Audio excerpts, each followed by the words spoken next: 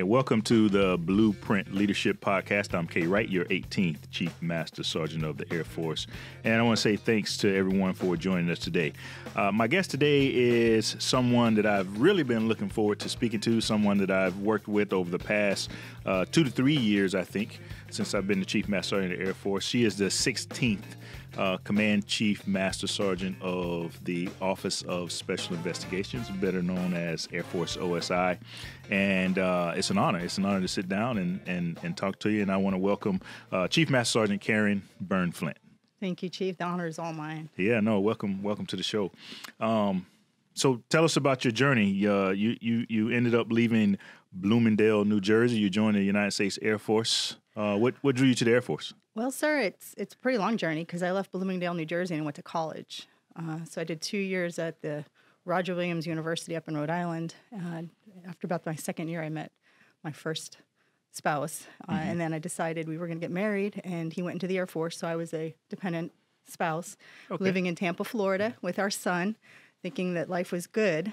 Um, and I didn't know anything about the military, didn't understand why they played the music at the end of the day, didn't had no idea about the culture. Um, we lived off base, so I didn't go on base very often.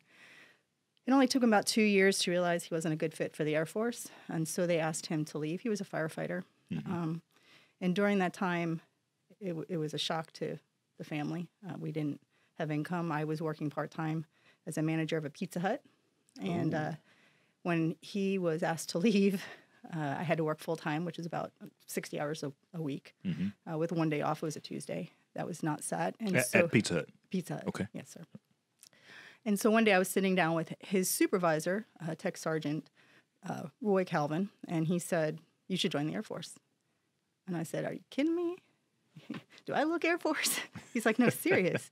Because when I when we moved down there um, to to Tampa, I did go back to school. I was trying to finish my bachelor's degree, and uh, when he was asked to leave, we lost everything, so I had to stop. And so I was devastated and I was depressed. And he said, you know, you should really consider joining the military because I think you would do well. And at the time, I didn't believe him, um, and I tried to figure it out on our own. Things weren't working out. Um, got very desperate. You know, you hit, you hit a low place.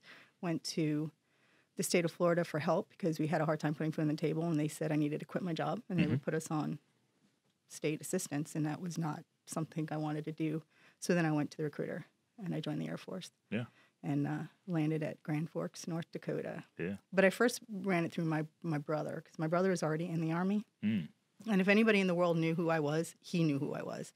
So I, you know, I called him up and I'm like, "What do you think about this?" And he said, "Well, don't want you in the army because he was in infantry. He was actually um, working toward being an 82nd Airborne Ranger is what he wanted to do. Uh, he said, "Nope, don't join the army you don't need to be in the Navy. No, Marines, you probably can't handle it. The Air Force is probably where you need to be. Yeah. so well, well, hey man, I, I think we we lucked out. I, I, tell you what I really like about your story. It's not that much different from mine and and many other uh, airmen like like us um, who we didn't grow up thinking, hey, I want to join the Air Force and and serve my country or you know defend the the, the universe. But uh, somehow the universe grabbed us and yeah. and brought us here. And and uh, like many of our airmen, you've had a very very successful career.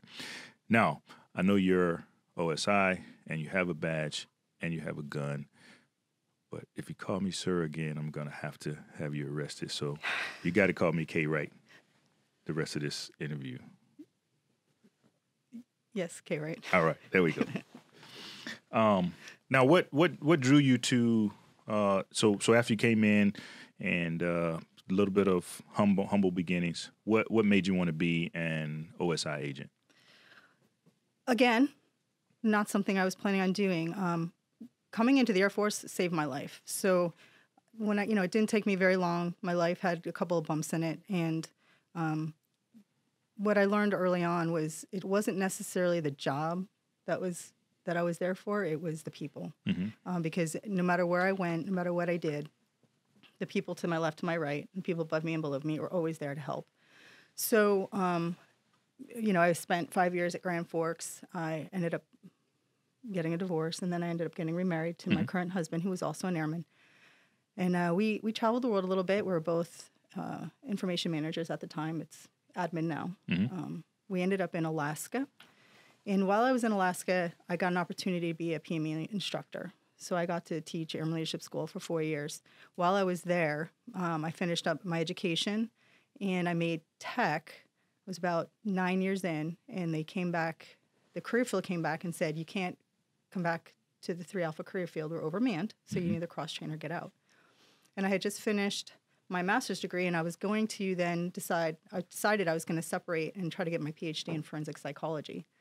Meanwhile, there was an agent who would come into the classroom and talk to all the students every mm-hmm. class. And so, you know, we started chit chatting, and he was like, Well, you're like, you know, my undergraduate is in psycho- psychology, and I really am fascinated by why people do what they do, which made my fascinating leadership also part of my journey. And so, you know, he said, Well, have you thought about OSI? And I said, Why, no, I have not. And so he brought me over and I sat down and we talked and I looked at what they did and it terrified me. Mm. I never saw myself in law enforcement or working counterintelligence investigations or doing anything with a gun and a badge. And so uh, after long talks with my husband, and because it is a family decision, it's mm-hmm. not something you can decide to do by yourself. Um, it terrified me, so I said, you know what? L- let's try it. And if it works, it works. If it doesn't, then I can get out and be a dependent wife.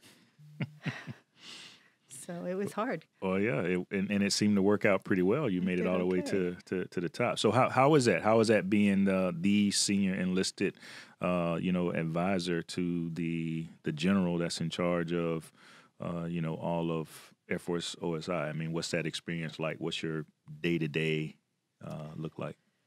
It's inspiring uh, and it's challenging day to day, it's just a matter of like where we are. We travel uh, a lot. We're mm-hmm. at 260 locations worldwide, so we try. I try to go out and see as many of our airmen as I can in a year, um, and just find out. You know, if my job is to advise him on what's going on with his force, then that's where I need to be, because mm-hmm. uh, it's very hard to understand what they're up against because they're not in front of me every single day. Mm-hmm. So I find myself needing to get out and talk yeah. uh, and finding out what what can we do to help them get that job done. They do phenomenal work. They inspire me. I, you know, you give an airman, you know, the opportunity, and they they'll amaze you every single time. Yeah. And so just to watch them um, get the mission done, you know, save lives, make our Air Force stronger, mm-hmm. is inspirational. But then it's challenging because there's a lot of hard things that we see and do every single day. Yeah. And uh, it adds up, and it and it starts to wear on them. And and I struggle with how, you know, what can I do to make them healthy, to keep them vital and, and, and vigilant and strong and resilient. Yeah. And so So, you know, we'll we'll come back to that cuz I want to I really am interested in, you know, I know as as agents you guys get to see kind of the worst that our Air Force has to offer sometimes. So we'll come back to to resilience, but hey, to to anybody listening, uh, you know, make a case. And I know uh, I'm not sure if you guys have a, a, a recruiting, um, you know, program, but but to anybody listening that that might uh, be thinking about it or may have never heard about it, kind of, kind of, kind of like you, you know, make the case for why would anyone want to be an Air Force OSI agent? I mean, what's the well, if you're looking to, I mean, the biggest thing is speaking for those that can't speak for themselves. Mm. Um, being the voice of of of people that have been harmed, uh, and then protecting that family. Um, so we, I see us. We, we do two things. We we protect the Air Force from the threat outside, mm-hmm. and then of course we protect the Air Force from the threat within, whether that's criminal or you know somebody's trying to do bad things to the Air Force from within. Yeah. Um, and so we're here to find the truth uh, and to preserve justice and and if you are looking to make a difference and and speak for those children, men, and women that can't speak for themselves, mm-hmm. uh, and to protect um, the nation against yeah. those those entities uh, that want to hurt us. This is where you should be. Yeah. Now, is is OSI different, fundamentally different from NCIS uh, or or the Army CID? Fundamentally, we are very much aligned like NCIS. Uh, CID is it is a little bit different. They train different. They're organized differently. Um, CID is a law enforcement arm, mm-hmm. and NCIS and OSI are law enforcement and counterintelligence. Okay. excuse me, the biggest difference between the two of us is um, NCIS is their agent corps is strictly civilian, Okay. and in the Air Force we are active duty and civilian. Mm-hmm. So um, that makes OSI uniquely different than any other law enforcement agency out there because we have both authorities, counterintelligence, and law enforcement with the active duty and then civilian components together gives us capability around the world. Yeah. And and your agents are federal federal agents, right? Could you go sir. to the FLETC, the Federal Law Enforcement Training, Training Center, Yes. uh, down down in Georgia. So, yeah, it's a it's a it's a good deal. Yep, 19 weeks. Um, 97 of the law enforcement agencies go through the Federal Law Enforcement Training Center. Um, So CID does not, but NCIS does. And then, of course, we have a follow-on course for OSI Yeah. specifically. Yeah. So I so I've had the opportunity to work with um, not just you and and some of your your predecessors, uh, but chiefs and and just agents, you know, for a, a better part of my my career. And like you mentioned earlier, they see a lot, they go through a lot. It's a tough, tough um, business. Um, how do what do you recommend to them as you go out and you travel, you know, um, all, all over the the world to to to see how they're doing. You know, what what is it that you think uh, they can do to remain resilient, to be able to you know continue on after um, you know doing the nation's nation's hard work. Yes, that is something that I have been very um, aggressive with since I've been the command chief. And you know, we we have our you know a few of the values that we have within OSI is is you know to take risk and to hunt, to be proactive in what we do. And I use that because it's not just agents in OSI. We have all different types of airmen in OSI. And so when we say hunting, it's just going after, being proactive about whatever it is in front of you. Um, and in order to do that, you need to trust. Um, so I'm trying to take that operational mindset and make it operational in our resiliency. Because if we're going to be hunting our enemies, we should be hunting our resiliency too.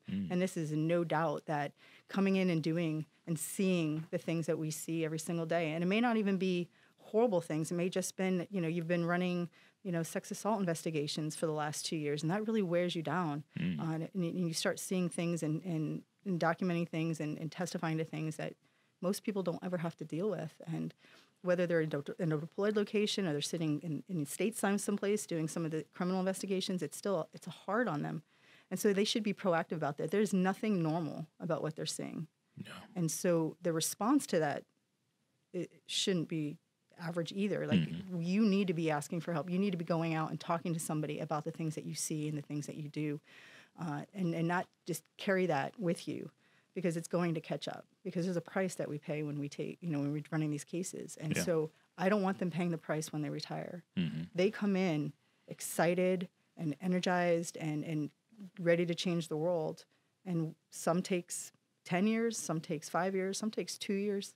Heck, it could take six months before you start breaking down. And then now you're going to leave broken and carrying a lot of baggage with you that they're, you know, the, we didn't ask you to carry it. Yeah. Well, you needed to pick it up, but you can put it down and mm-hmm. teaching them how to put that down sooner rather than later. Yeah. So when they do retire, they can do whatever they want. They're fully resilient and healthy. They came in the same way they're going out.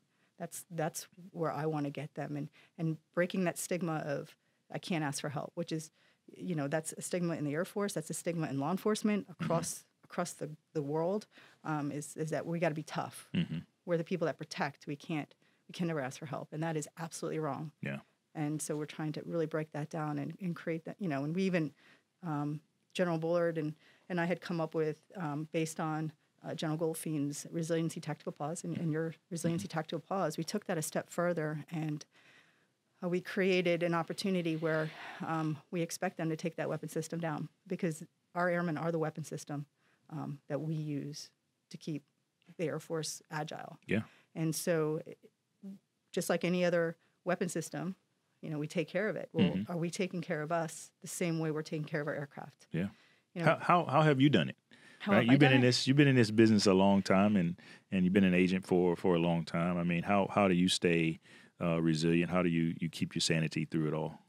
So, uh, well, I I work out a lot. Mm-hmm. That is, I learned that uh, before I even came into OSI that um, my my stress relief is is exercise, and so I make that a priority. Um, a lot of times, the first thing that goes in OSI because you get in and you get busy is your is your personal care, Mm-hmm. physically working out. You know, we don't have time for it. Well, you have to make time for it. So I do. I make sure that you know I get up early. Um, I usually up by four, four fifteen in the morning, and that's the first thing I do is I work out and then I eat well, and I get, of course, being up at four o'clock in the morning. I'm usually in bed by eight, so um, I make sure I try to get my sleep, uh, and then um, I have my I have my family support structure around me. Um, I have four adult children. I have beautiful grandchildren, um, and then of course I have those that I can talk to because sometimes it can't be the family that I talk to. Yeah. Um, so I have I have people that I I'm able to reach out to, and I feel like I'm I'm starting to slide. Yeah, man, I really admire you for being able to get into bed at eight o'clock. Only time I'm in bed at eight o'clock is if I'm sick and I can't,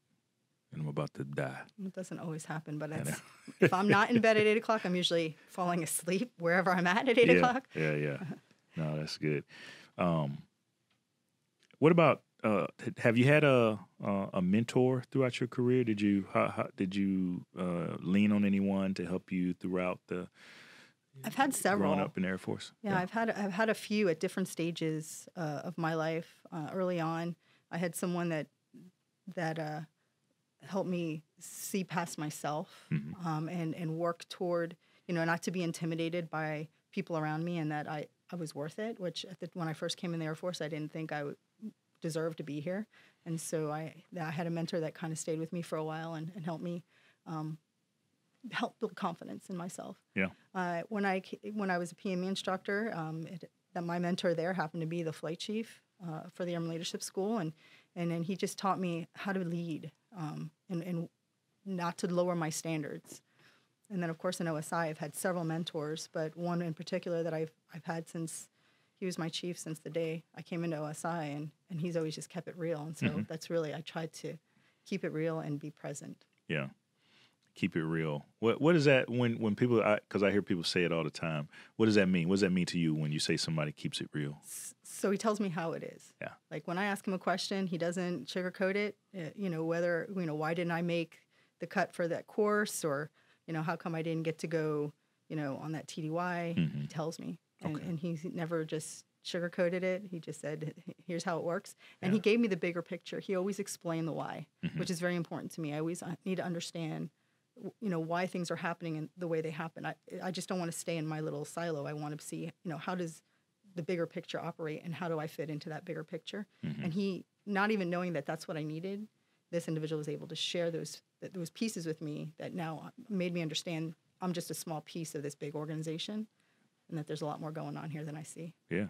So clearly, you know, you've had several mentors and this and it's been an important part of your career. What would you say to the young men and women, whether they're uh, OSI agents or or just airmen out in the Air Force who who say, you know, mentorship has kind of become a buzzword and, and I'm not sure if it's really a thing or, you know, how do I go about? I'm a little bit uncertain about how to find a mentor. What what advice would you have for a young person that's um, up and coming, and they may be struggling, or they may just be aspiring to be the next, you know, Chief Beirne Flint. You know, what's what advice would you give them in terms of finding a mentor?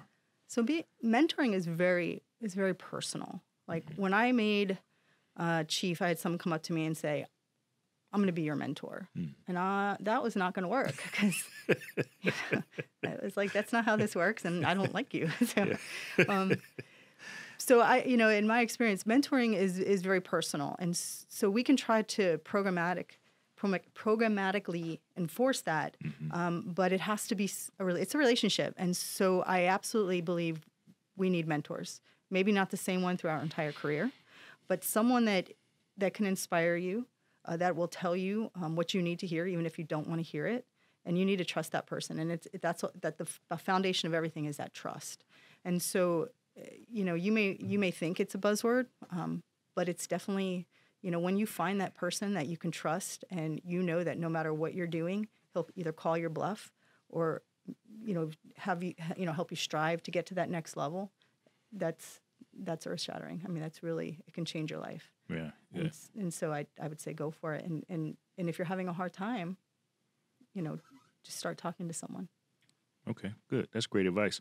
Um, you know, one of the things that we like to do on the show is we like to take questions from. Sometimes we get them from the the internets, from uh, Facebook and Instagram and Twitter and other places. So I'm going to turn it over to uh, Harry Kibbe, uh, the producer and extraordinaire of this show, and uh, he you, has a few questions from from the audience. Thank you, Chief. Uh, Chief Beirne Flint. Today, our questions come from Twitter.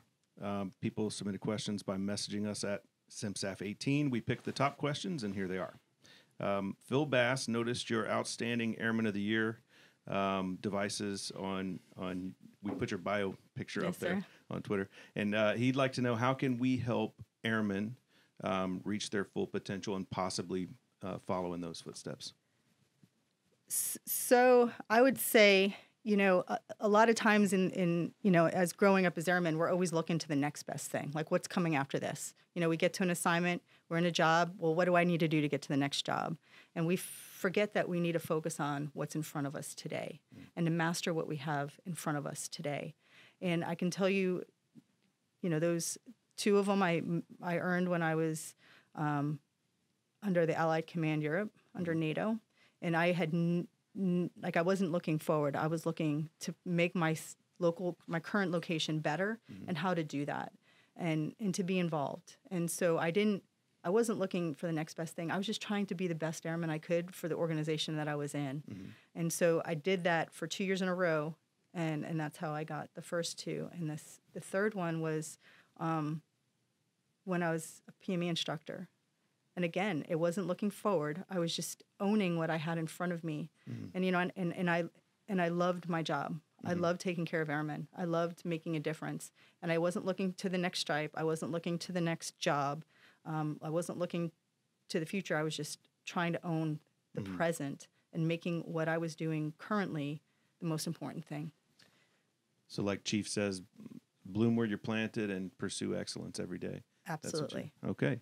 Um, thank you very much, Chief. AFSA Chapter 211 wants to know what do you think is the most underrated leadership skill? Underrated leadership skill. Well, I don't know if it would be a skill.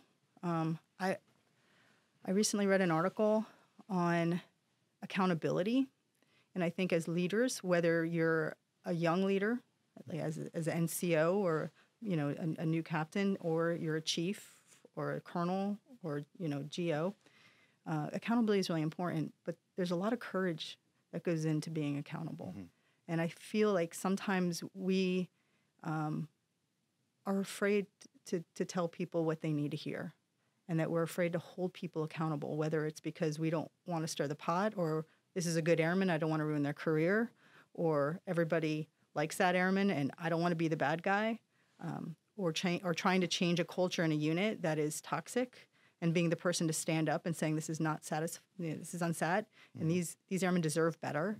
Um, it's, it's our responsibility as leaders to have that courage to stand up to ensure that those situations are being corrected because that's that's what our jobs are. And so while it may not be a skill, I think to have the courage to hold people accountable and to give that feedback is very important. Okay. Um, that was for AFSA Chapter 211. And this one comes from Christina, who asks um, if you could share with us who is someone who has inspired you and why? Present company excluded. Harry inspires everybody. Yes. So um, I would have to take this home and say my parents. Uh, my mom and dad have worked very hard their entire lives, and if it wasn't for them and them teaching me how to to put my heart and soul into everything I do, uh, and to be honest and and not take no for an answer, um, I, I don't know if I would have gotten even remotely as far as I ever have.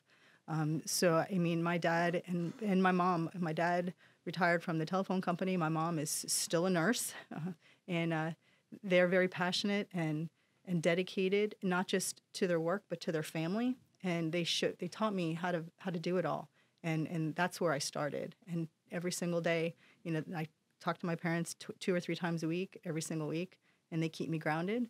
Uh, and I- that's they're my pride and joy. Awesome. Thank you very much, Chief. Um, and thank you to those who submitted the questions. As always, you can reach us on Facebook, Instagram, and Twitter. Back to you, Chief, right? All right, thanks. Hey, what what uh what gets you out of the bed in the morning? What what inspires you? Well, hmm. a lot of things get me out of the bed in the morning. The alarm clock. um, seeing what I can do to make to make the world a better place for our airmen. Yeah. Um, the job isn't done. Uh, sometimes I wake up in the middle of the night because I didn't get something to where I needed it to be. Um, I didn't. I mean, didn't. You know, the changes that I'm trying to make aren't happening fast enough. Um, so I know when I wake up, I have a whole day to c- continue to work at it and continue to try to make just make us stronger Air Force. Um, and and I have you know my you know my my organization is is where I'm starting from, but I know that as as I work for them, they're working for the Air Force, and, and together we're creating a much better team. Yeah. You know, the the the kind of opposite part of that question that I always ask is then what keeps you up at night, right? What what about the Air Force or the world kind of concerns you and and uh, you know, has you has you thinking the most? Like the opposite, the resiliency of my airmen, um, because I don't know if I'm making changes fast enough. I'm trying to change a culture, and that's one of the hardest things you can change in an organization. And and sometimes I feel like maybe I'm not doing enough. Maybe I'm not saying enough, um, and and that keeps me up Yeah. because they're they're going to go out there and they're going to do exactly what we need them to do, um, regardless of where they're at in their resiliency, and they deserve Yeah. they deserve better. You know, it's been a it's been a couple of years since I had an opportunity to visit your your headquarters and and personally thank not all, but you know, uh, some of some of your your agents for what they do, and but I think they should know how much we as airmen appreciate uh, what they do for all of us. You know, protecting us from from without and and from from within. Uh, I know it's very very important work. Most people get nervous when they hear OSI because they, they think they're in trouble, and and you may be, but um, we we really do. I, I want to pass along my thanks uh, not only to you and General Bullard and and all of the leadership, but uh, all of your agents and all of the support staffs uh, of uh, OSI all across the, the globe that that uh, help protect us and keep us safe. So I just want to you know say that, and I want to say thank you, man, for Well, we care appreciate of that. us. Thank you. We appreciate that. um, what are you reading these days? So I'm reading a lot of stuff. I had to write them all down because I tend to forget all the titles or the names. Yeah. Um, I, you know, I spend a lot of days, as you do, I'm sure, reading emails and documents, and and so I have to kind of split it up. I do a lot of podcasts, Okay. so I, I listen to a lot of podcasts, and then I also listen to a lot audio audiobooks because I Yeah. Spend a lot of time in DC traffic. Mhm. So I'm usually able to to listen to more books than I am actually to read. Okay. Um, so um, I'm currently reading um, Switch. Yeah. It's by Chip and Dan Heath. Mm-hmm. Uh, it's about change. Um, I, I again, um, being in this organization and trying to institute some of the changes is huge culturally, and so how how to best go after that. I just reread, at least for the third time, uh, "Start with Why" Mm-hmm. by Simon Sinek, uh, and then I- I've also read. Um, I'm also in the middle of reading uh, "The Infinite Game," which I think is you you announced a few months ago, and so I picked that one up. I love Simon Sinek. Oh so, yeah. so that's a good one. Okay. Good. Good. Any um, and you said this is your first. Yes, Podcast that you've actually- ever. Okay. No, you'll be able to listen to yourself on as you're sitting in DC traffic. Great, that's great. Yeah. What about any hobbies? What do you do? You know, you work hard. Uh, you got a very important job. You know, lots of tough things happening in the world that you have to pay attention to. On top of being the chief and and all the other things that come along with, and pressures that come along with being a chief. Um, what what about any any hobbies? I am fortunate enough to have a phenomenal husband who is now retired airman, Mhm. uh, and four adult children, and I have three grandchildren. Ooh. with one on the way. So that'll be four. Um, I do have one that actually lives with us, and and so that to me going home and being able to see my granddaughter Yeah. is is a gift. So we babysit on the weekend, Mm-hmm. and so that's my hobby. Okay. That's what I do when I'm not traveling. I am home hanging out with my granddaughter. So you look about 27 and 32. the okay, at 32, right? So the question is, what do your grandbabies call you? Are you a nana? uh, G-Ma? What- Close. I wanted Aunt Karen, but my children absolutely refused. absolutely refused. So they call me Nana. Nana. Okay. Yes. You don't look like a Nana, but we'll. I, we'll- I- we'll- I, we'll I couldn't that. do grandma. I Yeah. couldn't do grandma. Besides, that's my mom. Okay. so it couldn't be the same. So I, I'm Nana. Okay. Got or got my it. my oldest grandchild calls me Nan. Mm-hmm. Got it.